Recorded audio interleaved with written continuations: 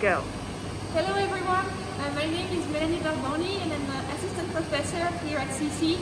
I'm a high temperature geochemist working on magmatic system on Earth and on other planets. I'm going to show you my lab. We're doing a geochemical analysis of rocks and minerals uh, using a mass spectrometer. So this is our mass spectrometer. Our lab is actually running today, which is good. This is an ICP-MS, which means that we are ionizing the sample using the plasma. And actually, you can see the plasma right here, right now. We are measuring. So this plasma here is about the temperature of the sun, so very hot. So we have two ways of um, introducing the sample in our machine. Either like uh, if we have liquid sample, we are using this machine here, where we can uh, nebulize the sample inside the plasma and then inside the mass spectrometer. But right now we are actually doing in situ measurements and we are using a laser to make holes in our sample to put them in the mass spec. So if you come with me, I'll show you the laser.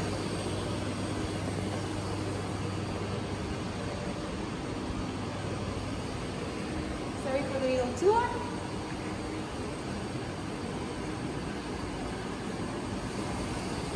So here is our laser system. Actually right now you can see, you hear it, it's running. We are actually sending a laser beam uh, inside the chamber here, ablating. Right now it's plagioclase that we are measuring. And the sample is going all the way to the mass spectrometer for analysis. And we are going to have a look at the screen, uh, what we are measuring. So this is the, the plagioclase crystal we are measuring right now. And here is a live view of the laser.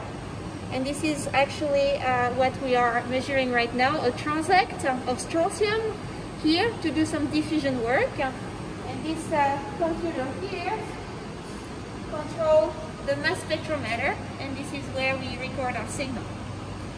So this is what we do in this lab. You can measure basically everything you want and I'm hoping that uh, if you come to ASU maybe you will meet such a lab to do some measurements for your own sample and we'll be very happy to collaborate with you. Uh, when I say we, it's me and my graduate students. Madeline is currently actually uh, filming. Hi Madeline. And yes, uh, contact me if you want to know anything, if you want to learn anything about ASU or SESE or if you just want to chat. I'll be very happy to do so. Take care and stay healthy.